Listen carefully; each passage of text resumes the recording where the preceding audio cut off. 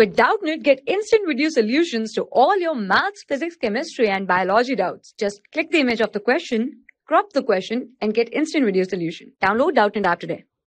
The question is for a chemical reaction of the type A in equilibrium with B, it has equilibrium constant 2 and B in equilibrium with C, it has equilibrium constant 0.01.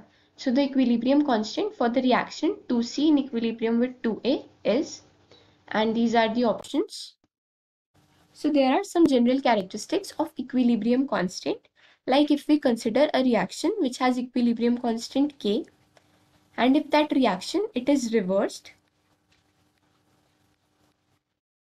then the equilibrium constant of the reversed reaction let's say it is K dash it will become inverse of this K.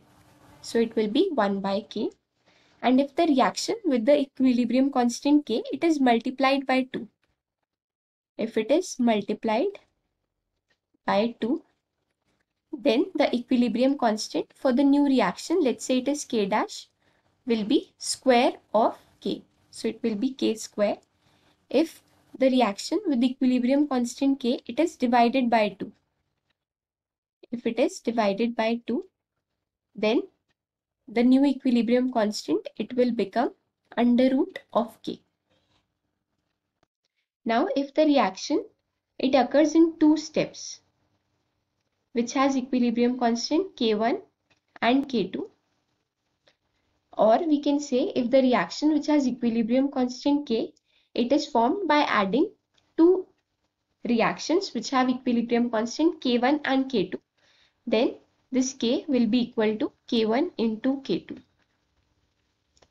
So now we have to find out the equilibrium constant for the reaction 2C in equilibrium with 2A and this is given that A in equilibrium with B it has equilibrium constant value it is 2 and this B in equilibrium with C it has equilibrium constant value 0.01 and we have to calculate for 2C in equilibrium with 2A. So if we add both these reactions, let's say it is 1 and 2, then we'll get A in equilibrium with C as this B will get cancelled out from both the sides. And as we have already discussed, if we get a reaction by adding two reactions, then their equilibrium constants get multiplied. So it will be 2 into 0.01 so it will be 0.02 now we have to find out for 2c in equilibrium with 2a that is we have to reverse this reaction.